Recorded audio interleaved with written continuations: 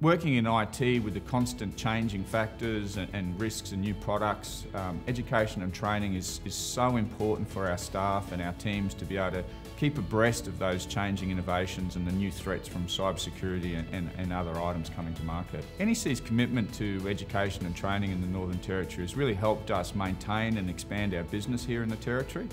as well as over the last two years with the COVID situation, it's really helped us be able to deliver strong outcomes for our customers as they've had to deal with COVID, particularly the Northern Territory Government and the Northern Territory Government's response to the COVID situation. I think what sets NEC apart from our competitors here in the Northern Territory is our commitment and investment to uh, our people,